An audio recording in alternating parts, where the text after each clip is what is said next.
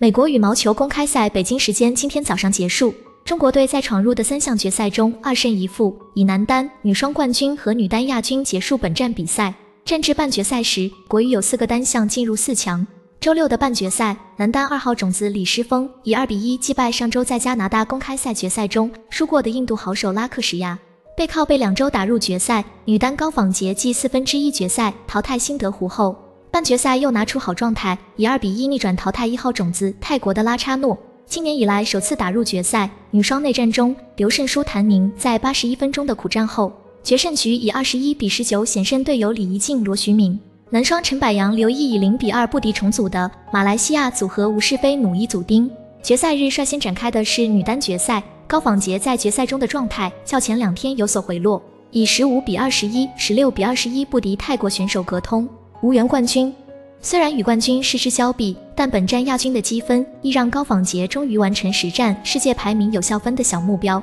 世界排名也会重新进入前三十，之后的高级别比赛都可以报名参加。女双决赛，谭宁、刘胜书两局比赛都是在十八比十九时连得三分胜出，以二十一比十九、二十一比十九击败来自丹麦的头号种子麦肯蒂格森，继西班牙大师赛后第二次夺得三百赛冠军。最后出场的李诗峰再次对阵一号种子昆拉武特，李诗峰以二十一比十五、二十一比十八强势胜出，第一次夺得超级三百赛冠军。